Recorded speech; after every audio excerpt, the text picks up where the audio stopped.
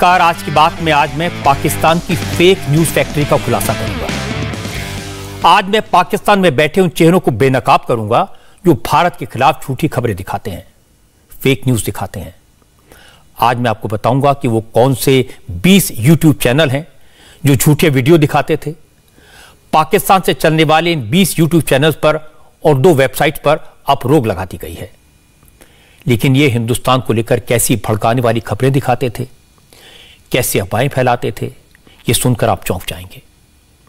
भारत सरकार ने जब इन यूट्यूब चैनल्स को मॉनिटर किया तो पता चला ये चैनल्स बड़े सिस्टमैटिक तरीके से दुनिया में हिंदुस्तान को बदनाम करने के काम में लगे थे। भारत के मुसलमानों को भड़काने की कोशिश में लगे थे। इनके झूठे प्रोपेगेंडा के निशाने पर नरेंद्र मोदी भी थे और योगी भी। इन्होंने जनरल बिपिन रावत के हेलीकॉप्टर क्रैश को लेकर बेबुनियाद खबरें दिखाई। उदाहरण के तौर पर, एक चैनल ने झूठी खबर दिखाई कि मोदी ने कश्मीर में धारा 370 को बहाल करने से इनकार कर दिया, इसलिए अमेरिका और टर्की अपनी फौज कश्मीर में भेजने वाले हैं।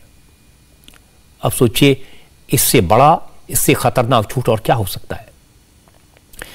एक चैनल ने फेक न्यूज़ दिखाई कि भारत की आर्मी और सरकार में टकराव हो गया, इसलिए आर्मी चीफ को हटाया जा रहा है।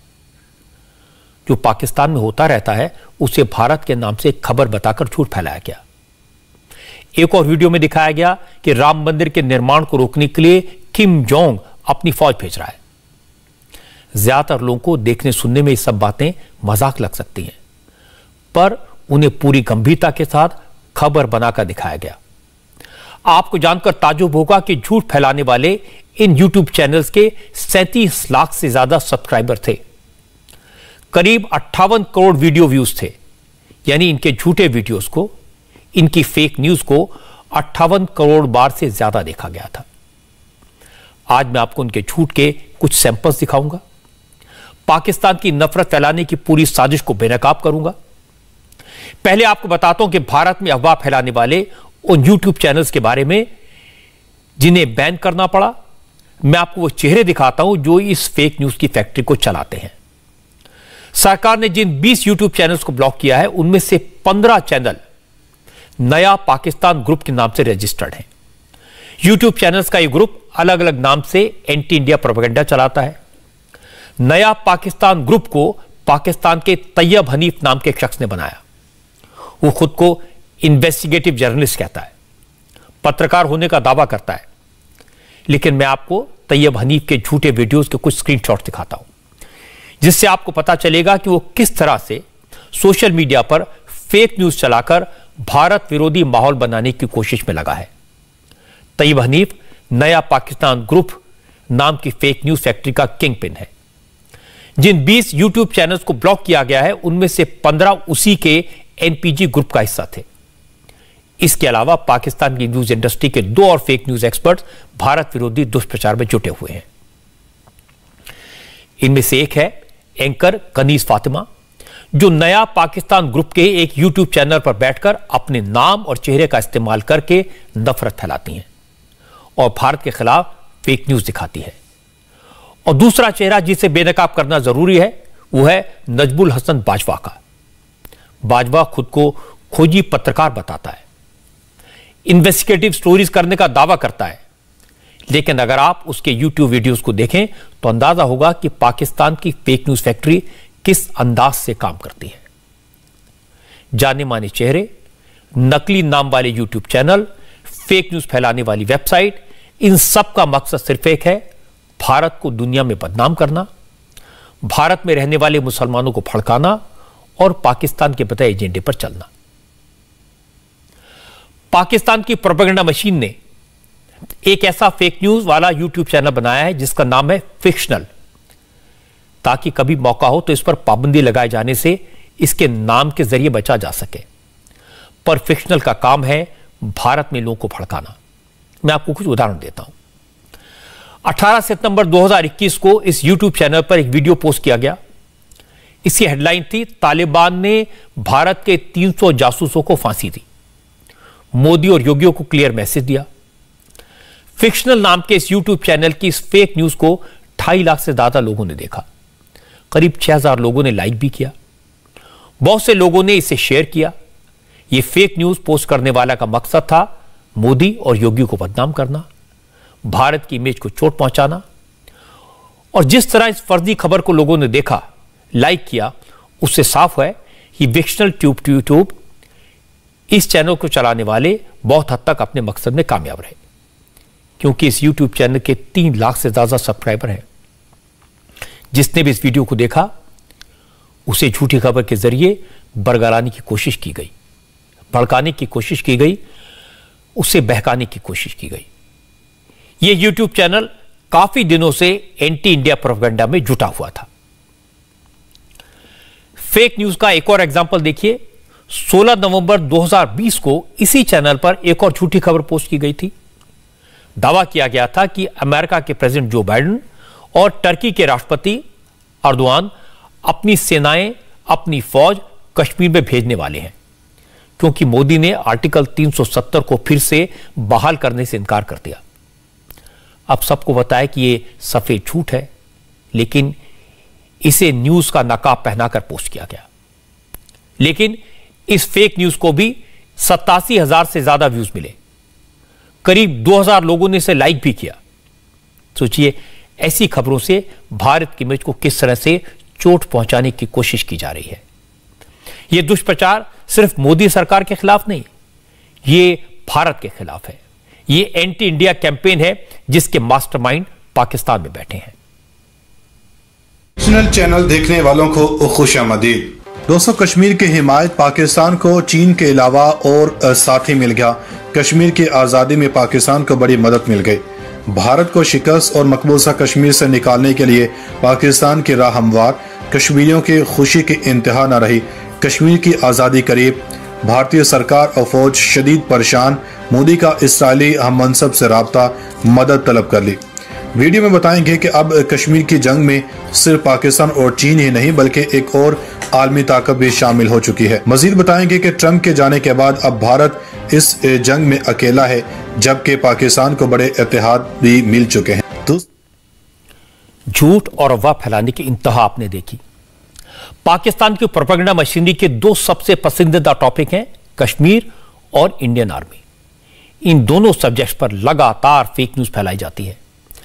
इसी महीने 5 दिसंबर 2021 को हिस्टोरिकल फैक्ट्स नाम के ऐसे यूट्यूब चैनल ने एक फेक न्यूज़ पोस्ट की, जिसकी हेडलाइन थी कि टर्की के राष्ट्रपति अर्दवान ने पैंतीस हज़ार फाइटर्स कश्मीर में भेजे हैं। इस यूट्यूब चैनल को तो ब्लॉक कर दिया गया है, लेकिन इसके स्क्रीनशॉट में एक टैंक और आर्मी के कुछ जवान आप देख सकते हैं। इस फेक न्यूज़ का पर्पज बिल्कुल साफ़ है। कश्मीर में इंडियन आर्मी के एक्शन से पाकिस्तान परेशान है। वो टेरर सिंपथाइजर की मोरल बूस्टिंग के लिए ऐसी झूठी खबरों का सहारा ले रहा है, क्योंकि कश्मीर में आतंकवाद लगातार हार रहा है। अब वहाँ के नौजवान आतंकवादी संगठनों में शामिल होने को तैयार नहीं है। तो ऐसी फेक न्यूज़ की मदद से उन्हें टेरर नेटवर्क के जाल में फंसाने की कोशिश की जाती है। इंडियन आर्मी के एक्शन से पाकिस्तान की खूफ एजेंसी आईएसआई और आतंकवादियों के हैंडलर्स कितने परेशान हैं, कितने बौखलाए हुए हैं ये भारत विरोधी प्रोपेगेंडा चलाने वाले इन यूट्यूब चैनल्स को देखकर साफ़ हो जाता है। सबसे ज़्यादा झूठी बातें आर्मी के बारे में चलाई जाती हैं। 20 नवंबर 2021 को पंजाब वायरल नाम के यूट्यूब चैनल ने एक फेक न्यूज़ पोस्ट की। दावा किया, जब कश्मीर में मुजाहिदीन ने भारतीय फौज के जवानों को पकड़ा तो उन्होंने कलमा पढ़ा। इसके अगले ही दिन द पंचलाइन नाम के यूट्यूब चैनल ने इसी से मिलती जुलती फेक न्यूज़ पोस्ट की। झूठी बात थी। दावा किया कि कश्मीर में तैनात भारतीय सेना के 200 जवानों ने इस्लाम कबूल कर लिया। इसी खबर को एक और यूट्यूब चैनल ने द नेकेड ट्रुथ उसने भी इसी हेडलाइन के साथ पोस्ट किया। पोस्ट में द नेकेड ट्रुथ नाम के चैनल ने यह भी क्लेम किया कि यह भारत सरकार और नरेंद्र मोदी के लिए बड़ी खबर है। जब ऐसी खबरों को देखते हैं, इस प्रोपेगेंडा को देखते हैं तो कुछ बातें साफ़ हो जाती हैं। ऐसे प्रोपेगेंडा यूट्यूब चैनल्स का कंटेंट एक ही जगह तैयार होता है सिस्टमैटिक तरीके से तैयार होता है, पूरी प्लानिंग के साथ होता है। और प्रोपेगेंडा करने वालों के दिमाग में, इस तरह की खबरें चलाने वालों के मस्तिष्क में, नरेंद्र मोदी के लिए बहुत नफरत भरी है, भारत के लिए नफरत भरी है। कश्मीर से आर्टिकल 370 हटाए जाने के बाद ये सब बौखलाए हुए हैं फ्रस्ट्रेटेड हैं। भारत को बदनाम करके कश्मीर के बारे में झूठे दावे करके आर्मी की इमेज पर हमला करके वो खुद को तसल्ली देने की कोशिश कर रहे हैं। आज कश्मीर में तारीख रकम हो गई। हक गालिब आ गया, बातिल के मिटने का वक्त आ गया। मुजाहिदीन के जज्बा ईमानी दुश्मन कभी सोचा भी नहीं था। भारतीय फौज अपने ही फौजियों की दुश्मन बन गई। जम्मू ऐसा क्या हुआ? मुजाहिदीन का तादाद को हिरासत में भी ले लिया गया। भारतीय फौज के एक एहलकार गुजशत एक लंबे अरसे से मुजाहिदीन के हिरासत में थे और अब भारतीय मीडिया की जानब से मौसू होने वाली खबरों के मुताबिक उनमें से कुछ एहलकारों को भारतीय फौज के दूसरे जवानों के साथ जिहाद करते हुए देखा गया। ये झूठ फैलाने वाले अच्छी तरह जानते हैं कि भारत की बहादुर फौज चार चार बार पाकिस्तान फौज को शिकस्त दे चुकी है। 1947 के बाद का कश्मीर वॉर हो 1965 या 1971 की जंग हो, या फिर कारगिल युद्ध। पाकिस्तानी फौज को युद्ध के मैदान में हर बार इंडियन आर्मी से शिकस्त मिली है। इसलिए पाकिस्तान अब प्रोपेगेंडा वॉर चलाता है। इंडियन आर्मी को बदनाम करने की कोशिश करता है। 14 जुलाई 2020 को नया पाकिस्तान ग्लोबल नाम के यूट्यूब चैनल ने एक ऐसी ही फेक न्यूज़ पोस्ट की थी। इसमें दावा किया गया था कि इंडियन आर्मी के चीफ ने मोदी सरकार को सुप्रीम कोर्ट में चुनौती दी है। कभी कभार न्यूज़ देखने वाले भी इस पोस्ट को देखते ही जान जाएँगे, ये फेक न्यूज़ है, ये बात झूठ है। लेकिन सोशल मीडिया पर ऐसे फेक चैनल को फॉलो करने वालों को शायद पता नहीं चलता कि वो फेक न्यूज़ के झूठ के फंदे में फंस गए हैं। तभी इस झूठी खबर को 20 लाख से ज़्यादा लोगों ने देखा, बीस हज़ार से ज़्यादा लोगों ने लाइक किया। यह वीडियो गलवान घाटी में भारत और चाइना के सैनिकों के बीच संघर्ष के बाद पोस्ट किया गया था। अफवाह फैलाने की कोशिश की गई कि आर्मी और गवर्नमेंट में टकराव हो गया है, आर्मी चीफ को हटाया जा रहा है, इसलिए उन्होंने मोदी सरकार को सुप्रीम कोर्ट में चैलेंज किया पाकिस्तान से चलने वाली फेक न्यूज़ की फैक्ट्री हर टॉपिकल इशू को ऐसे ही ट्विस्ट देकर फेक वीडियोस के ज़रिए दुष्प्रचार करने में जुटी हुई है। इसीलिए इन पर रोक लगाना, इन्हें ब्लॉक करना बहुत ज़रूरी था।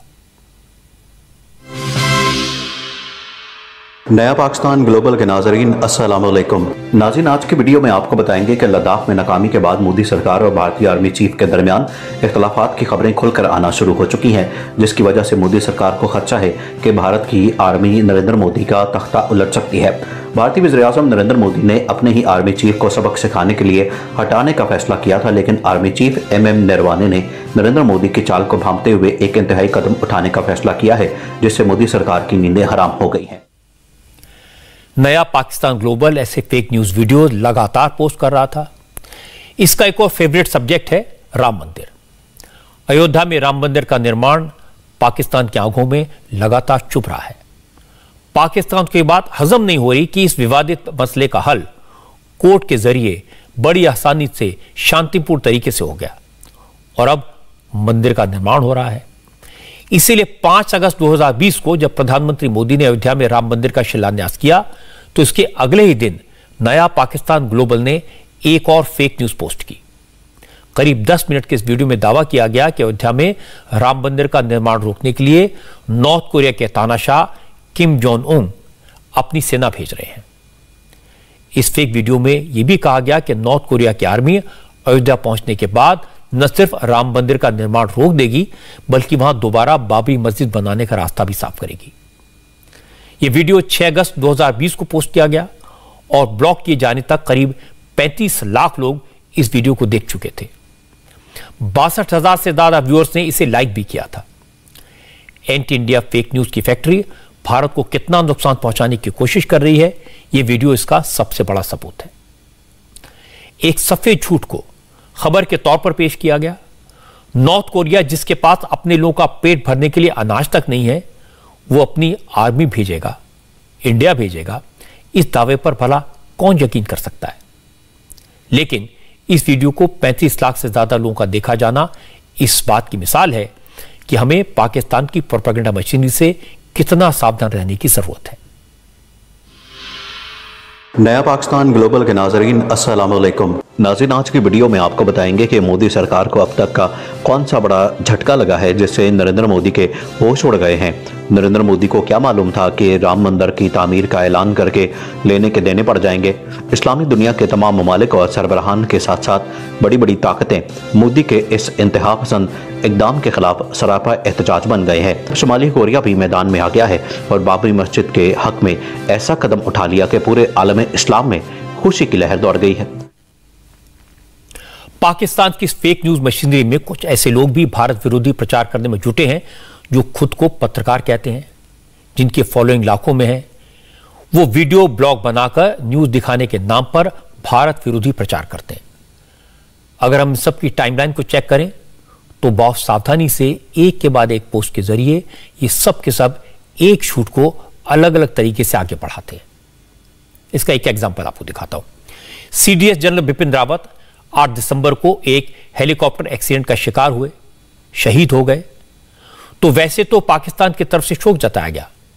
लेकिन पर्दे के पीछे से पाकिस्तान का डीप स्टेट, जनरल रावत को लेकर भी फेक न्यूज़ फैलाने में जुट गया। उसके प्रोपेगेंडा चैनल हाइपर एक्टिव हो गए थे। 10 दिसंबर को जुनैद हलीम ऑफिशियल नाम से एक यूट्यूब चैनल है। इसमें वीडियो पोस्ट करके दावा किया गया कि इस हादसे में अमेरिका का हाथ है। और चीन ने जो बाइडेन सरकार के खिलाफ सबूत मुहैया करा दिए हैं। यह चैनल तो ब्लॉक हो चुका है। इसके एक स्क्रीनशॉट में शिवसेना नेता संजय राउत की फ़ोटो का ट्वीट है और पोस्ट में कहीं भी क्लियर नहीं है कि एक्चुअल खबर क्या है। सिर्फ़ और सिर्फ़ प्रोपेगेंडा और छूट दिखाई देता है। 10 दिसंबर को एक और block YouTube channel Mohsin Rajput official से भी जनरल रावत के बारे में एक झूठी खबर पोस्ट की गई। इसमें क्लेम किया गया कि भारतीय सेना ने ऐसे सबूत दिखाए हैं कि जनरल रावत के हेलीकॉप्टर को तमिल टाइगर्स ने निशाना बनाया। जैन अली ऑफिशियल नाम के एक और यूट्यूब चैनल चलाने वाले ने दावा किया है कि बिपिन रावत का हेलीकॉप्टर तो असल में चाइना ने टारगेट किया था, क्योंकि चाइना लद्दाख को लेकर मोदी सरकार को सबक सिखाना चाहता है। लेकिन अगले ही दिन 11 दिसंबर को इसी यूट्यूब चैनल ने जनरल रावत के बारे में एक और झूठ लिखा। इस बार दावा यह था कि तमिलनाडु में हुए हेलीकॉप्टर क्रैश के सिलसिले में इंडियन आर्मी के ही 12 सैनिक अरेस्ट किए गए इन सभी पोस्ट को हज़ारों लोग देख रहे थे लाइक कर रहे थे शेयर कर रहे थे। यानी पाकिस्तान एक तरफ़ तो दिखावे के लिए जल रावत के निधन पर अफसोस जता रहा था और दूसरी तरफ़ पाकिस्तान की प्रोपेगेंडा मशीनरी उनके बारे में फेक न्यूज़ फैलाने में जुटी हुई थी। नजमुल हसन बाजवा नाम के पथिक पाकिस्तान पत्रकार ज़िक्र मैंने पहले किया था। उसने तो इस मामले की जाँच से पहले ही दावा कर दिया था कि हेलीकॉप्टर क्रैश एक हादसा नहीं और इसके लिए भारत के मुस्लिम समुदाय को बदनाम किया जा रहा है। नजमुल हसन पाकिस्तान का मेन स्ट्रीम एंकर है। अपना वीडियो ब्लॉग भी चलाता है। अपनी वीडियो की शुरुआत में ये एक डिस्क्लेमर भी चलाता है। कहता है, वैसे तो ये वीडियो जानकारी देने के लिए पोस्ट किया जा रहा है, लेकिन इसमें दी गई किसी भी जानकारी के सही या पुष्टि करने का दावा वो नहीं करता। यह अजीब बात है। प्रोपेगेंडा चलाने वाला व्यक्ति खुद को एंकर कहता है डिस्क्लेमर चलाकर साफ़ छूट बोलता है और उसे कोई रोकने वाला नहीं था। इस हादसे का शिकार होने के बावजूद जो भारतीय मीडिया कह रहे हैं और जो भारत के लोग कह रहे हैं और जो भारतीय एजेंसीज कह रहे हैं कि जनरल बिपिन रावत जो है वो हादसे का शिकार हुए हैं। इस इस इस चैप्टर के और इस इस फैब्रिकेटेड स्टोरी के बावजूद नाजरीन क्राम अब सवाल ये उठाया जा रहा है और ये कहा जा रहा है कि जनरल बिपिन रावत को भारतीय मुसलमानों ने मरवाया है। जनरल बिपिन रावत इस हादसे का शिकार नहीं हुए। अब आवाज़ें उठ रही हैं कि जनरल बिपिन रावत भारतीय मुसलमानों के हाथों कत्ल हुए हैं। यह फेक न्यूज़ फैक्ट्री झूठ मैन्युफैक्चर करती है और इल्ज़ाम भारत पर लगाती है। नाम देती है, भारत से खबर आई है। क्योंकि पाकिस्तान के फेक न्यूज़ न्यूज़ चैनल्स की कोशिश यह है कि भारत के मुसलमानों को किस तरह भड़काया जाए। भारत में किसी तरह से सोशल अनरेस्ट पैदा किया जाए, नफरत फैलाई जाए। इसके लिए भी ब्लॉक किए गए यूट्यूब चैनल लगातार अफवाहें फैलाते रहते हैं। सत्ताईस नवंबर को जैन अली ऑफिशियल नाम के चैनल से एक पोस्ट की गई। दावा किया गया कि असम के पाँच हज़ार मुसलमान अफ़गानिस्तान चले गए वो तालिबान के साथ मिलकर मोदी सरकार के खिलाफ एक्शन करेंगे। 27 नवंबर को ही मोहसिन राजपूत के चैनल ने एक और फेक न्यूज़ पोस्ट की। लिखा, असम के एक हज़ार मुसलमान अफ़गानिस्तान जाकर तालिबान से ट्रेनिंग ले रहे हैं। इन सारी फेक न्यूज़ का पर्पज एक ही है। भारत को बदनाम करना, यहाँ रहने वाले मुसलमानों को उकसाना, मोदी सरकार के खिलाफ प्रोपेगेंडा अभियान चलाना। इसीलिए सरकार ने पहली बार आईटी रूल्स के तहत एक्शन लिया है और 20 यूट्यूब चैनल्स और दो वेबसाइट्स को ब्लॉक कर दिया है। सीमा पार से जो कुछ प्रयास किए जा रहे हैं कि देश के अंदर भय और भ्रम की स्थिति फैलाई जाए फेक न्यूज़ के माध्यम से या खराब कंटेंट एंटी इंडिया कंटेंट के माध्यम से जो एक प्रयास कुछ वेबसाइट्स और पोर्टल्स के माध्यम से किया जा रहा था उसके खिलाफ कार्रवाई की गई है। नया पाकिस्तान ग्रुप हो, इसके माध्यम से चलने वाले लगभग पंद्रह यूट्यूब चैनल्स हों या पाँच अन्य यूट्यूब चैनल्स हों, दो वेब पोर्टल्स हों, जो कानून के अनुसार उनका उल्लंघन भी कर रहे थे तो आईटी रूल्स के अंतर्गत उनके खिलाफ कार्रवाई भी की गई है, ताकि देश के खिलाफ जो एजेंडा पाकिस्तान की ओर से चलता है, पाकिस्तान की वेबसाइट्स और वहाँ के जो हैंडल वाले यहाँ पर कर रहे हैं, उसके खिलाफ एक कड़ी कार्रवाई की गई है, ताकि ऐसी ताकतों को देश के खिलाफ काम ना करने दिया जाए। सरकार ने एंटी इंडिया कैंपेन चलाने वालों पर एक्शन लिया है। यह ज़रूरी था। किसी को भी भारत के खिलाफ दुष्प्रचार की इजाज़त तो नहीं दी जा सकती, लेकिन पाकिस्तान में अभी भी बहुत से यूट्यूब चैनल हैं, जिन पर भारत के खिलाफ झूठी बातें लगातार फैलाई जा रही हैं। अफवाहों को खबर बनाकर पेश किया जा रहा है। फेक न्यूज़ को सच्ची खबर की तरह परोसा जाता है। मैं आपको इसकी कुछ और एग्ज़ाम्पल दिखाता हूँ। इस साल फरवरी में जब उत्तराखंड में ग्लेशियर फटा तो पाकिस्तान के कई यूट्यूब चैनल्स पर इससे जुड़ी तमाम अफवाहें फैलाई गई। पाकिस्तान के एक सीनियर एंकर साबिर शाकिर ने अपना वीडियो ब्लॉग किया, उसमें क्लेम किया कि यह नेचुरल डिजास्टर नहीं था, उत्तराखंड में ग्लेशियर धमाके के साथ फटा साबिर शाकिर का यह दावा किसी सबूत पर आधारित नहीं था। वो सिर्फ़ इंडियन आर्मी का नाम लेकर यह झूठ अपने यूट्यूब पर बोल रहा था। एमरजेंसी इस सारी सिचुएशन के बाद जैसे ही ये दिल्ली सरकार को ये इतला पहुँची कि, और जो इतला ये पहुँची कि ये नॉर्मल नहीं है। ये जो हमालिया का ग्लेशियर है, ये उड़ाया गया है धमाके से, जो उनको इतलात हैं। और फौरी तौर पे ये दिल्ली सरकार से जो फ़ौजी ज़राए ने, इंडियन फ़ौजी ज़राए ने जो रिपोर्ट किया, उसमें ये कहा कि ये गैर मामूली धमाका था, गैर मामूली वाक़ था, ये नॉर्मल नहीं था, ये किसी कुदरती तौर पे नहीं है, बल्कि ये इसको तोड़ा गया है, इस ग्लेशियर को, इस ग्लेशियर पे कोई ना कोई धमाका खेज मवाद किसी ने किया है। ऐसे झूठ के, ऐसी अफवाहों के, ऐसी फेक न्यूज़ के मेरे पास बहुत सारे उदाहरण हैं। पाकिस्तान के एक और वीडियो ब्लॉगर, फैसल तारण ने तो अपने एक वीडियो में यह क्लेम कर दिया कि श्रीलंका ने भारत पर हमला कर दिया है। अब सब जानते हैं सिर्फ़ झूठ है, सफ़ेद झूठ है, झूठ के सिवा और कुछ नहीं है। लेकिन पाकिस्तान के फैसल तारण ने अपने यूट्यूब चैनल पर यह फेक न्यूज़ ये झूठी खबर ज़ोर शोर से फैलाई। सबसे पहले बात करनी है श्रीलंका पर। श्रीलंका ने भारत पर हमला किया है। श्रीलंका ने भारत पर सीधी गोलियाँ चलाई हैं। श्रीलंका ने भारत के फिशरमैन, यानी माहीगीर, मछेरे पकड़े हैं। श्रीलंका ने भारत की बोट्स कब्जे में ली हैं। जरा नक्शा निकालिए। नक्शा देखिए। नक्शे पे श्रीलंका एक ऐसा मुल्क जिसको अगर आप नक्शे पे देखेंगे तो आपको लगेगा जैसे पानी का एक छोटा सा ड्रॉप है। अब जब दो करोड़ बीस लाख वाला मुल्क 150 करोड़ वाले मुल्क पर सीधी फायरिंग कर दे 150 करोड़ वाले मुल्क पर वो फायरिंग करे, उसके पैंसठ बंदे पकड़ ले। ये सारे उदाहरण देखकर साफ़ लगता है कि भारत सरकार ने पाकिस्तान की फेक न्यूज़ फैक्ट्री के खिलाफ एक्शन क्यों लिया और यह कितना ज़रूरी था? 20 चैनल ब्लॉक किए गए यह एक अच्छा कदम है। पाकिस्तान की साजिश को बेनकाब करना ज़रूरी था। कई बार भोले भाले लोग इस तरह की फेक न्यूज़ पर भरोसा कर लेते हैं, गुमराह हो जाते हैं, इसलिए इन्हें रोका जाना चाहिए। पाकिस्तान की प्रोपेगेंडा मशीन का मकसद है हिंदुस्तान में नफरत फैलाना, लोगों की भावनाओं को फड़काना और अफवाहों के आधार पर लोगों को आपस में लड़वाना। हमारी सरकार ने पाकिस्तान के फेक न्यूज़ चैनल्स पर रोक लगाकर इस झूठ की जंग को रोकने का पहला कदम उठाया है।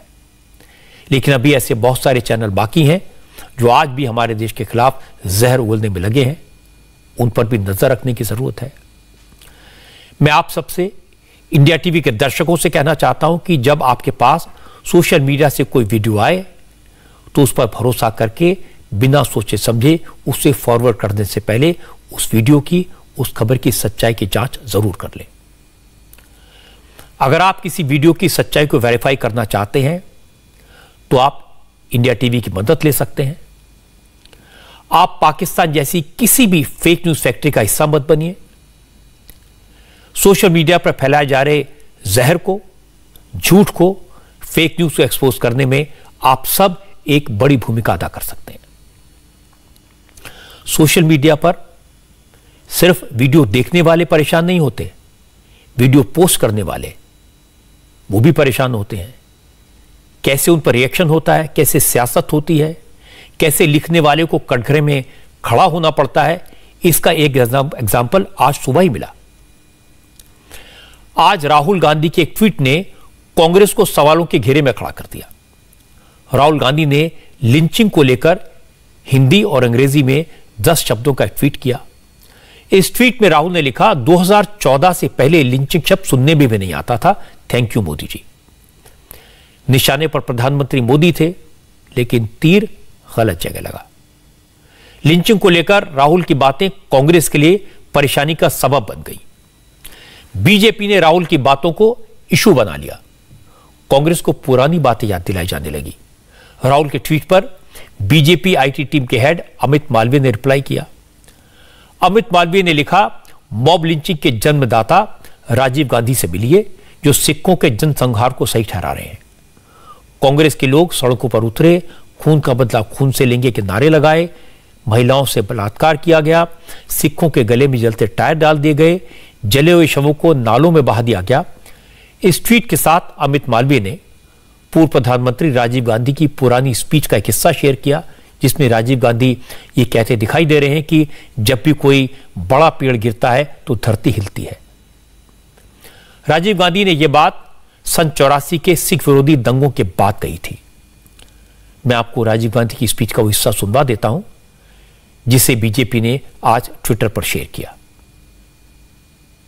जब इंदिरा जी की हत्या हुई थी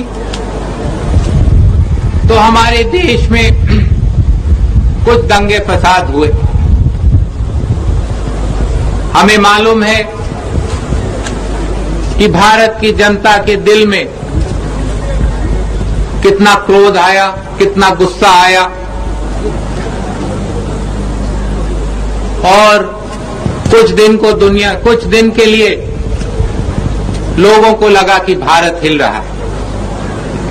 लेकिन जब भी कोई बड़ा पेड़ गिरता है तो धरती थोड़ी हिलती है। इस बयान से ऐसा लगा जैसे राजीव गांधी ने चौरासी के दंगों को जस्टिफाई करने की कोशिश की। राजीव गांधी ने 19 नवंबर उन्नीस सौ चौरासी को दिल्ली के बोट क्लब पर यह पब्लिक मीटिंग एड्रेस की थी। और इस छोटे से हिस्से को शेयर करने के बाद अमित मालवीय ने एक और ट्वीट किया, जिसमें उन्होंने 11 दंगों की एक लिस्ट गिनाई। अमित मालवीय ने अपने ट्वीट में उन दंगों का ज़िक्र किया जो कांग्रेस की सरकारों के वक्त हुए थे। उन्नीस सौ उनहत्तर के अहमदाबाद दंगे, चौरासी के भिवंडी दंगे, नवासी के भागलपुर दंगे और 93 के मुंबई दंगों की बात की। अमित मालवीय ने कहा यह नेहरू गांधी परिवार के आँख के नीचे उन दंगों की लिस्ट है जिनमें सैकड़ों लोगों की जान गई। 1984 में जो सिख नरसंहार हुआ उसके जनक, उनके पिता राजीव गांधी थे। दस हज़ार से अधिक सिखों का कत्लेआम कर दिया गया। सिख महिलाओं के साथ बलात्कार हुआ। सड़कों पर लोगों के गलों में जलता टायर डाल के उनको मार दिया गया। सड़कों पर कुत्ते सिख समुदाय के लोगों की लाशों को खींचते दिखाई दिए। लिंचिंग अगर किसी ने इस देश में सही मायने में करी है तो वो राहुल गांधी के पिता स्वर्गीय राजीव गांधी थे, जब वो देश के प्रधानमंत्री थे। तो इस प्रकार की बहस को छेड़ना, जिसमें आपका परिवार, आपके पिताजी स्वयं लिप्त हो, राहुल गांधी को सोचना चाहिए। बीजेपी में नए नए शामिल हुए मनजिंदर सिंह सिरसा ने राजीव गांधी का नाम लेकर राहुल पर हमला किया। सिरसा ने कहा, इस देश में अगर कोई सबसे बड़ा मॉब लिंचर हुआ है तो वो राहुल गांधी के पिता थे, जिन्होंने 8000 मासूम सिखों की लिंचिंग करवाई थी। उनको पता भी नहीं था कि जो 8000 बेगुना लोगों के गलों में टैर डालकर देश की राजधानी में और देश के अनेक कोनों में लोगों को लिंचिंग की गई जो, देश की सबसे बड़ी लिंचिंग थी। लेकिन क्योंकि उसके पिता ने बड़े सही शब्दों में कह दिया, जब बड़ा पेड़ गिरता है तो धरती हिलती है। तो उनके लिए तो बस यही था, क्या है, कीड़े मकौड़े हैं, मर गए तो मर गए। इसी सोच थी। उनको तब ये महसूस हुआ, जब 2014 में जो ये लिंचर थे, जो कातल थे, सज्जन कुमार जैसे टाइटलर जैसे इनके केस खुले, सजाए मौत हुई। उम्र कैद हुई। आज गंदी कीड़े की तरह वो जेल में सड़ रहे हैं। तब इसको महसूस हुआ कि इसके पिता कितने बड़े मॉब लिंचर थे। तो मैं समझता हूँ कि सबसे बड़ा अगर कोई देश और दुनिया का, मैंने ये वीडियो आज से एक साल पहले डाली भी थी कि देश और दुनिया का अगर सबसे बड़ा कोई मॉब लिंचर है, वो राजीव गांधी है, क्योंकि उसने ना केवल इतने लोगों को, बेगना लोगों की लिंचिंग करवाई, बल्कि उसके बाद उसको जस्टिफाई भी किया और पब्लिक फोरम पे जाके जस्टिफाई करके कहा। बीजेपी के नेताओं ने राहुल के ट्वीट पर जो सवाल उठाए, उसकी जो आलोचना की, राजीव गांधी के बारे में जो कुछ कहा, उसके बारे में हमने कांग्रेस के लीडर से भी पूछा, क्योंकि उनका पक्ष भी आपके सामने आना चाहिए। पंजाब से आने वाली कांग्रेस की सीनियर नेता अंबिका सोनी ने क्या कहा यह सुनिए।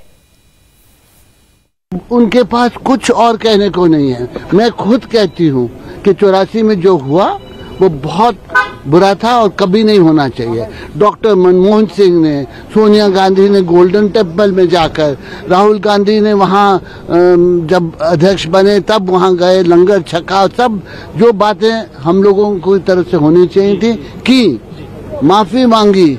डॉक्टर मनमोहन सिंह के भाषण आप भूल गए? तो इन्होंने क्या किया है उनको राहत देने के लिए? लेकिन मॉब लिंचिंग को लेकर राहुल गांधी किसी सवाल का जवाब देने को तैयार नहीं थे। उन्होंने एक लाइन लिखकर मोदी सरकार पर सवाल तो उठा दिए। राहुल गांधी ने लिंचिंग को लेकर ट्वीट तो कर दिया।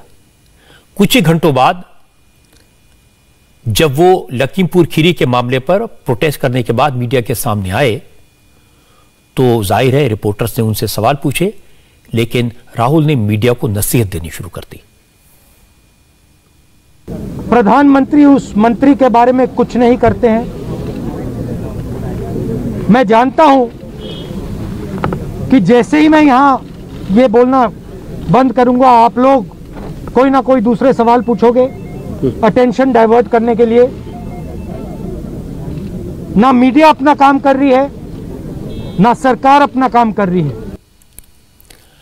राहुल को पता था, उन्होंने थोड़ी देर पहले लिंचिंग पर एक ट्वीट किया है, उस पर सवाल पूछे जाएँगे। पहले उन्होंने भूमिका बनाने की कोशिश की और जब रिपोर्टर्स ने उनसे सवाल पूछने की कोशिश की तो राहुल ने मीडिया को ही कटघरे में खड़ा कर दिया। पत्रकारों को भला बुरा कहने लगे। सवाल का जवाब देने के बजाय राहुल ने पत्रकारों के लिए अपशब्दों का इस्तेमाल किया। मैं आपको सुनता हूँ, राहुल ने मीडिया से क्या सवाल पूछे और राहुल ने क्या जवाब दिया। थैंक यू थैंक यू भैया. आप भैया डाइवर्ट मत करो मैंने आपको बोला मैंने आपको बोला। देखिए सरकार की दलाली मत करो। डाइवर्जन डाइवर्ट मत फार्मर किलर शर्म करो। शर्म करो शर्म करो। फार्मर किलर शर्म करो। शर्म करो शर्म करो। लिंचिंग पर ट्वीट राहुल गांधी ने किया। लिंचिंग का सवाल राहुल गांधी ने उठाया। फिर वो मीडिया को इश्यू डाइवर्ट करने के लिए कैसे जिम्मेदार ठहरा सकते हैं? मैं नहीं जानता कि किस रिपोर्टर ने राहुल से यह सवाल पूछा था, लेकिन मैंने सुना रिपोर्टर ने साफ़ साफ़ पूछा था, मेरा सवाल है, आपने थोड़ी देर पहले ट्वीट किया था।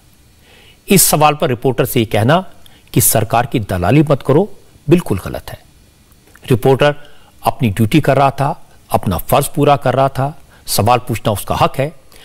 इसके लिए इस तरह की अपमानजनक भाषा का इस्तेमाल करना अन्याय है। राहुल गांधी को यह नहीं भूलना चाहिए कि भारत के इतिहास में अगर कभी मीडिया की आवाज़ दबाई गई, अगर कभी पत्रकारों को जेल में डाला गया, अगर कभी सेंसरशिप लगाई गई तो कांग्रेस की सरकार के जमाने में थी। उनकी दादी इंदिरा गांधी उस समय प्राइम मिनिस्टर थी और उन्होंने इमरजेंसी लगाकर यह सब किया था। राहुल गांधी ने लिंचिंग के बारे में जो ट्वीट किया था, उसकी टाइमिंग पंजाब में बेअदबी के दो आरोपी हत्या से जुड़ी है।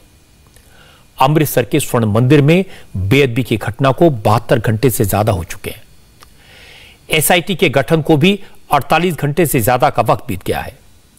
पंजाब सरकार ने कल कहा था कि एसआईटी 48 घंटे के अंदर अपनी रिपोर्ट दे देगी, लेकिन अभी तक रिपोर्ट नहीं आई है। हैरानी की बात यह भी है कि अभी तक बेअदबी के आरोपों की पहचान भी नहीं हो सकी है। बेअदबी के बढ़ते मामलों में पंजाब सरकार मुश्किल में पड़ गई है। विधानसभा चुनाव से पहले मुख्यमंत्री चरणजीत सिंह चन्नी और कांग्रेस से तीखे सवाल पूछे जा रहे हैं, लेकिन कांग्रेस के पास जवाब नहीं है। आज सुखबीर सिंह बादल ने कहा कि कांग्रेस की सरकार ने बेअदबी के मामलों को गंभीरता से नहीं लिया, जिसका नतीजा है कि अब लोग स्वर्ण मंदिर के अंदर जाकर बेअदबी करने की हिम्मत कर रहे हैं। सुखबीर बादल ने कहा, अगर 15 दिसंबर को स्वर्ण मंदिर के परिक्रमा से सरोवर में गुटखा साफ़ फेंकने के मामले को गंभीरता से लिया गया होता तो स्वर्ण मंदिर के अंदर बेदबी की घटना नहीं होती। सुखबीर बादल ने स्वर्ण मंदिर में बेदबी को इंदिरा गांधी से जोड़ दिया।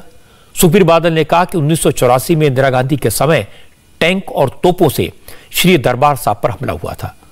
उसके बाद इस तरह की बेअदबी अब हुई है। ਇੱਕ ਦੋਸ਼ ਨੇ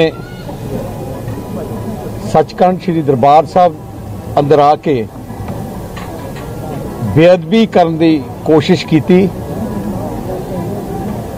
ਇੱਕ ਐਜਾ ਹਾਦਸਾ ਹੋਇਆ, ਜਿਹੜੇ ਸਿੱਖ ਪੰਥ ਨੂੰ ਜਿਹਦਾ ਬਹੁਤ ਜ਼ਿਆਦਾ ਦੁੱਖ ਹੈ। ਮੈਨੂੰ ਲੱਗਦਾ ਨਹੀਂ ਕਿਸੇ ਜ਼ਿੰਦਗੀ ਵਿੱਚ ਕਿ ਦਰਬਾਰ ਸਾਹਿਬ ਦੇ ਅੰਦਰ ਐਜਾ ਕਿਸੇ ਦੀ ਹਿੰਮਤ ਹੋਈ ਐਜਾ ਦੁਸ਼ਟ ਕੰਮ ਕਰਨ ਦੀ। ਕੱਲੀ ਇੰਦਰਾ ਗਾਂਧੀ ਦੇ ਹੁਕਮ ਤੇ ਉਦੋਂ ਟੈਂਕਾਂ ਤੋਪਾਂ ਨਾਲ ਦਰਬਾਰ ਸਾਹਿਬ ਦੇ ਹਮਲਾ ਹੋਇਆ। ਪਰ ਬੜਾ ਅਫਸੋਸ ਮੈਨੂੰ ਇੱਕ ਗੱਲ ਦਾ ਲੱਗਦਾ ਹੈ ਕਿ ਇਸ ਹਾਦਸੇ ਤੋਂ 4 ਦਿਨ ਪਹਿਲੇ ਦਰਬਾਰ ਸਾਹਿਬ ਦੇ ਪਵਿੱਤਰ ਸਰੋਵਰ ਵਿੱਚ ਗੁੜਕਾ ਸਾਹਿਬ ਨੂੰ ਫਾੜ ਕੇ ਉੱਤੇ ਸਿੱਟੇ ਗਏ ਸੀ ਤੇ ਐਸਜੀਪੀਸੀ ਦੇ ਮੈਨੇਜਮੈਂਟ ਨੇ ਪੰਜਾਬ ਪੁਲਿਸ ਨੂੰ ਉਹ ਬੰਦਾ ਫੜਾ ਦਿੱਤਾ ਸੀ। ਪੰਜਾਬ ਪੁਲਿਸ ਨੇ ਕੁਝ ਨਹੀਂ ਕੀਤਾ ਤੇ 4 ਦਿਨ ਬਾਅਦ ਆ ਹਾਦਸਾ ਹੋ ਗਿਆ। ਇਹਦਾ ਵੱਡਾ ਕਾਰਨ ਮੈਂ ਕਹਿ ਸਕਦਾ ਕਿ ਜਿਹੜੀ ਸਰਕਾਰਾਂ ਨੇ ਜਾਂ ਪਾਰਟੀਆਂ ਨੇ ਖਾਸ ਕਰਕੇ ਸਿਆਸਤ ਕਰਨ ਦੀ ਕੋਸ਼ਿਸ਼ ਕੀਤੀ ਹੈ, ਦੋਸ਼ੀਆਂ ਨੂੰ ਫੜਨ ਦੇ ਬਗੈਰ, ਬਜਾਏ ਸਿਆਸਤ ਕੀਤੀ ਹੈ। ਅਸੀਂ ਵੀ ਅੱਜ ਕਹਿ ਸਕਦੇ ਸੀ, ਜਿਵੇਂ ਕਾਂਗਰਸ ਪਾਰਟੀ ਨੇ ਸਿਆਸਤ ਕੀਤੀ, ਅਸੀਂ ਵੀ ਕਹਿ ਸਕਦੇ ਸੀ ਕਿ ਡਿਪਟੀ ਸੀਐਮ ਜਾਂ ਸੀਐਮ ਜਾਂ ਇਹਨੂੰ ਅੰਦਰ ਕੀਤਾ ਜਾਏ ਜਾਂ ਕੁਝ ਕੀਤਾ ਪਰ ਅਸੀਂ ਗੁਰੂ ਸਾਹਿਬਾਨ ਦੇ ਮਸਲੇ 'ਚ ਗੁਰੂ ਘਰ ਦੇ ਮਸਲੇ 'ਚ ਕਿਤੇ ਸਿਆਸਤ ਨਾ ਕਰਨੀ या ना करनी चाहिए है अब मैं आपको सुनवाता हूं इस मामले में पंजाब कांग्रेस के अध्यक्ष नवजोत सिंह सिद्धू ने क्या कहा अमृतसर में सिद्धू ने बेदबी के आरोपियों को फांसी की सजा देने की मांग की थी आज सिद्धू ने कहा कि जब तक बेदबी से जुड़े मामलों में कड़ी सजा के प्रावधान नहीं किए जाएंगे ऐसे मामलों को रोका नहीं जा सकता ਕਿਸੇ ਵੀ ਚੀਜ਼ ਨੂੰ ਰੋਕਣ ਵਾਸਤੇ ਸਜ਼ਾ ਵੱਡੀ ਚਾਹੀਦੀ ਹੈ ਸਿੰਗਾਪੁਰ ਚ ਅੱਜ ਵੀ ਕਦੇ ਕੋਈ ਪੁੜੀ ਨਹੀਂ ਵਿਕਦੀ ਕਿਉਂ ਨਹੀਂ ਵਿਕਦੀ ਕਿਉਂਕਿ ਜਿਹੜਾ ਬੰਦਾ ਥੋੜੇ ਜੇ ਵੀ ਜੁਰਮ ਨਾਲ ਫੜਿਆ ਗਿਆ ਉਹ ਆਪਣੇ ਪਰਿਵਾਰ ਨੂੰ ਦੁਬਾਰਾ ਦੇਖਦਾ ਨਹੀਂ ਉਹਨੂੰ ਮਰਨ ਵੀ ਨਹੀਂ ਦਿੰਦੇ ਤਿਲ ਤਿਲ ਕਰਕੇ ਮਾਰਦੇ ਐਸੀ ਖੌਫਨਾਕ ਸਜ਼ਾ ਹੈ ਭਾਈ ਬੇਅਦਬੀ ਮੈਨੂੰ ਸੋਚ ਕੇ ਦੇਖੋ ਚਾਹੇ ਕੁਰਾਨ ਸ਼ਰੀਫ ਦੀ ਹੋਵੇ ਚਾਹੇ ਭਗਵਤ ਗੀਤਾ ਜੀ ਦੀ ਹੋਵੇ ਚਾਹੇ ਉਹ ਗੁਰੂ ਗ੍ਰੰਥ ਸਾਹਿਬ ਜੀ ਦੀ ਹੋਵੇ ਚਾਹੇ ਉਹ ਕਿਸੇ ਚਰਚ ਦੇ ਵਿੱਚ ਹੋਵੇ ਪਰਮਾਤਮਾ ਅਗਰ ਇੱਕ ਹੈ ਤੇ ਫਿਰ ਭਾਈ ਸਭ ਤੋਂ ਵੱਡੀ ਜਿਹੜੀ ਕਨਸਟੀਟਿਊਸ਼ਨ ਦੀ ਸਜ਼ਾ ਹੈ ਉਹਨੂੰ ਮਿਲਣੀ ਚਾਹੀਦੀ ਹੈ ਨਾ। ਬੜਾ ਤੇ ਪਿਛਲੇ 6 ਸਾਲ ਦੇ ਜਿਨ੍ਹਾਂ ਨੇ ਬੇਅਦਬੀ ਕੀਤੀ ਜਿਨ੍ਹਾਂ ਦਾ ਨਾਮ ਆਉਂਦਾ ਨਾ ਅਫਸਰਾਂ ਸਮੇਤ ਮਿਊਨਿਸਪੈਲਿਟੀ ਦੇ ਸਾਂਢਾ ਵਾਂਗ ਫਿਰਦੇ ਆ। ਤੇ ਜੇ ਸਿਸਟਮ ਨੇ ਰਲ ਮਿਲ ਕੇ ਉਹਨਾਂ ਨੂੰ ਪ੍ਰੋਟੈਕਸ਼ਨ ਹੀ ਦੇਣੀ ਹੈ ਤੇ ਫਿਰ ਜਨਤਾ ਆਪਣੇ ਹੱਥ 'ਚ ਲੈ ਰਹੀ ਹੈ। ਉਹਨਾਂ ਦੀ ਭੇਰੇ- ਬੇਭਰੋਸਗੀ ਹੈ ਸਿਸਟਮ ਤੋਂ? ਬਟ ਉਹ ਕਹਿ ਰਹੇ ਸਿੱਧੂ ਸਾਹਿਬ ਇਹ ਕਹਿ ਰਹੇ ਨੇ ਕਾਂਗਰਸ ਦੇ ਸੱਜਣ ਕੁਮਾਰ ਉਹਨਾਂ ਨੂੰ ਕਿੰਨੀ ਕੁ ਸਜ਼ਾ ਮੈਂ ਕੀ ਆਨਾ ਕਿ ਮੈਂ ਕਹਿੰਨਾ ਕੋਈ ਹੋਵੇ। ਇੱਥੇ ਨਾ ਕਾਂਗਰਸ ਦਾ ਸਵਾਲ ਹੈ ਨਾ ਬੀਜੇਪੀ ਦਾ ਸਵਾਲ ਹੈ ਨਾ ਕਿਸੇ ਪਾਰਟੀ ਦਾ ਸਵਾਲ ਹੈ। ਇੱਥੇ ਸਵਾਲ ਧਰਮ ਦਾ ਹੈ। ਗੁਰੂ ਸਾਹਿਬਾਨਾਂ ਨੇ ਸਾਨੂੰ ਇੱਕ ਸੇਧ ਦਿੱਤੀ ਹੈ ਝੰਡੇ ਬੁੰਗੇ ਜੁਗੋ ਜੁਗ ਅਟਲ ਧਰਮ ਦਾ ਜੈ ਜੈਕਾਰ। ਤੇ ਮੀਰੀ ਪੀਰੀ ਦੇ ਝੰਡਿਆਂ ਚੋਂ ਦੇਖ ਲਓ। ਉੱਚਾ ਝੰਡਾ ਕਿਹੜਾ ਹੈ? ਧਰਮ ਦਾ ਝੰਡਾ ਤੇ ਫਿਰ ਉਸ ਰਾਜ ਦਾ ਕੀ ਕਰਨਾ ਜਿਹੜਾ ਧਰਮ ਨੂੰ ਸੁਰੱਖਿਆ ਨਾ ਦੇ ਸਕੇ ਧਰਮ ਨੂੰ ਪ੍ਰੋਟੈਕਟ ਨਾ ਕਰ ਸਕੇ ਧਰਮ ਨੂੰ ਨਿਆਂ ਨਾ ਦੇ ਸਕੇ ਦੱਸੋ ਉਸ ਰਾਜ ਤੋਂ ਕੀ ਕਰਾਉਣਾ ਹੈ पंजाब में एक और खबर की आज चर्चा रही कल रात चन्नी सरकार ने बादल परिवार के करीबी रिश्तेदार विक्रम सिंह मजीठा के खिलाफ ड्रग्स केस में एफआईआर दर्ज करा दी पंजाब पुलिस ने ड्रग्स मामले में एसटीएफ की जांच रिपोर्ट के आधार पर मजीठिया के खिलाफ केस दर्ज किया है मजीठिया पर एनडीपीएस एक्ट की धाराओं के तहत केस दर्ज किया गया है। उन पर संगीन धाराएँ लगाई गई हैं, जिसके बाद अब मजीठिया पर गिरफ्तारी की तलवार लटक गई है। मजीठिया को लेकर पंजाब कांग्रेस अध्यक्ष नवजोत सिद्धू ने लगातार चन्नी सरकार पर प्रेशर बनाया था। और मानो ये जा रहा है कि चन्नी सरकार ने इसी प्रेशर में ये एक्शन लिया है। ब्रिक मजीठिया अकाली दल के अध्यक्ष सुखबीर सिंह बादल की वाइफ हरसिमरत कौर बादल के भाई हैं। इसलिए अकाली दल ने मजीठिया पर एक्शन को बड़ा इशू बनाया है। अकाली दल के सबसे बड़े नेता प्रकाश सिंह बादल ने इसे बदले की राजनीति बताया। उन्होंने कहा, चन्नी सरकार उन्हें जेल में डाल दे तो जेल जाने के लिए तैयार है। सुखबीर सिंह बादल के रिश्तेदार विक्रम सिंह मजीठिया के सपोर्ट में कैप्टन अमरिंदर सिंह सामने आए। कैप्टन ने कहा कि मजीठिया के खिलाफ जो मुकदमा दर्ज हुआ है, वो गलत है। कांग्रेस मजीठिया से दुश्मनी निकालना चाहती इसलिए मजीठिया पर एफआईआर हुई है। ज़ाहिर है चुनाव आने वाले हैं तो सियासत के पुराने मुद्दे सामने आएँगे लेकिन पुराने दुश्मन दोस्त बन जाएँगे यह कभी से किसी ने सोचा नहीं था। प्रधानमंत्री नरेंद्र मोदी आज प्रयागराज में थे। वहाँ एक ज़बरदस्त नज़ारा देखने को मिला। बड़ी संख्या में महिलाएँ एक साथ एक मैदान में नज़र आई। ऐसा पहली बार हुआ जब यूपी में महिलाओं के नाम पर महिलाओं के काम के लिए इतनी बड़ी रैली हुई। मोदी को सुनने के लिए बहुत बड़ी संख्या में महिलाएँ वहाँ मौजूद थीं। पूरा मैदान महिलाओं से खचाखच भरा हुआ था। किसी रैली के लिए किसी जनसभा के लिए एक साथ इतनी ज़्यादा महिलाओं की इतनी बड़ी भागीदारी पहले कभी नहीं देखी गई। बीजेपी का दावा है कि इस रैली में दो लाख से ज़्यादा महिलाएँ मौजूद थी। यहाँ मौजूद लाखों महिलाओं के इस मौके पर प्रधानमंत्री मोदी ने 16 लाख महिलाओं को 1000 करोड़ रुपए की राशि डायरेक्ट बैंक खाते में ट्रांसफ़र की। साथ ही मोदी ने 2002 सप्लीमेंट्री न्यूट्रिशन मैन्युफैक्चरिंग यूनिट्स की नींव रखी। ऐसे हर यूनिट पर एक करोड़ रुपए का खर्च आएगा। पब्लिक मीटिंग से पहले प्रधानमंत्री ने यूपी के सेल्फ हेल्प ग्रुप की महिलाओं से आमने सामने बैठकर बात की। वहाँ मौजूद महिलाओं ने प्रधानमंत्री से कई सवाल पूछे। मोदी ने एक एक करके जवाब दिया। प्रधानमंत्री और यूपी की महिलाओं की बातचीत किस अंदाज में हुई? इसका कुछ पोर्शन मैं आपको दिखाता हूँ। मतलब अपनी कुर्सी लेके इधर आ जाइए। कुर्सी लेकर के आ जाइए। तो आपको गाँव में लोग कैसे पहचानते हैं? कैसे? हैं? बिज़ी तक अच्छा सबको मालूम है घूमती फिरती बैंक है। हैं? कैसे? सम्मान मिलता है मतलब क्या होता? है एक एक एक बताइए। लोग श्रीरामपुर ब्लॉक से है और हमारा गाँव आठ किलोमीटर दूर है वहाँ से। और जब वहाँ पर बुज़ुर्ग जो ज़यीफ लोग हैं तो उनसे चला नहीं जाता। तो फिर हम हम उन्हीं के घर जाके पैसे निकाल के आते हैं और फिर वो हमें खुद दुआएँ देते हैं। तो हम ये कहते हैं, मैंने कहा, हमें मत दो। हमारे प्रधानमंत्री जी को दो जिन्होंने और किसका क्या अनुभव है? हाँ बताइए। बहुत ही मान और सम्मान मिला है। एनआरएलएम से जुड़ने के बाद हम इसमें इस पद पे कार्य कर रहे हैं जिससे काम में हमें बैंक दीदी के नाम से सम्मानित किया जाता है। अब कोई भी दीदी बैंक में जाने के लिए परेशान नहीं होती, सारे काम हम में ही निपटा देते हैं। आप लोगों को मिलने जाते हैं कि लोग आपको ढूंढते हैं। कैसे करते हैं? जब जाते हैं पहले क्या करते हैं? कैसे बात करते हैं? मुझे समझाइए। सर हम उनके जैसे मैं हूँ और मुझे आप लोग सेवा दे रहे हैं तो कैसे करेंगे? क्या परेशानी है? कैश निकलवाना है या जमा कराना है? फिर वो अपने बताते हैं फिर उनसे उनका आधार कार्ड लेते हैं। आधार कार्ड से निकलवाना है तो आधार कार्ड डालते हैं बैंक का नाम लेके और फिर उससे पूछते हैं कस्टमर से कितना अमाउंट निकलवाना है। फिर फिंगरप्रिंट्स लगा के उनको निकलवा के और उनको अमाउंट बता देते हैं कि इतना आपका अमाउंट बच जाए और इसके बाद प्रयागराज की रैली में प्रधानमंत्री ने बेटियों के अधिकार की बात की। प्रधानमंत्री ने कहा कि हमारी सरकार बेटियों की शादी की उम्र को 18 से बढ़ाकर 21 साल कर रही है जिससे उन्हें पढ़ाई लिखाई पूरी करने के लिए इस वक्त मिले। लेकिन कुछ लोग हैं जिन्हें इस बात से भी आपत्ति है। अभी कुछ दिन पहले ही केंद्र सरकार ने एक और फैसला किया है। पहले बेटों के लिए शादी की उम्र कानूनन 21 साल थी। लेकिन बेटियों के लिए ये उम्र 18 साल की ही थी। बेटियों भी चाहती थी कि उन्हें उनकी पढ़ाई लिखाई के लिए आगे पढ़ने के लिए समय मिले, बराबर अवसर मिले। इसलिए बेटियों के लिए शादी की उम्र को 21 साल करने का प्रयास किया जा रहा है।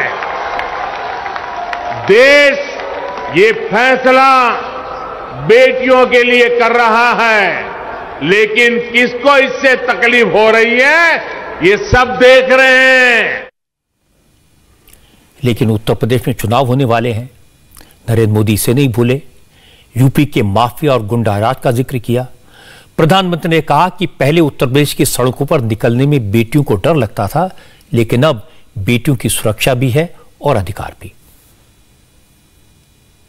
पाँच साल पहले यूपी की सड़कों पर माफिया राज था। यूपी की सत्ता में गुंडों की हनक हुआ करती थी। इसका सबसे बड़ा भुक्तभोगी कौन था? मेरी यूपी की बहन बेटियाँ थी।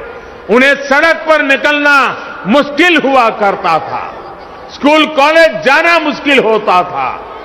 आप कुछ कह नहीं सकती थी, बोल नहीं सकती थी, क्योंकि थाने गई तो अपराधी, बलात्कारी की सिफारिश में किसी को फ़ोन आ जाता था।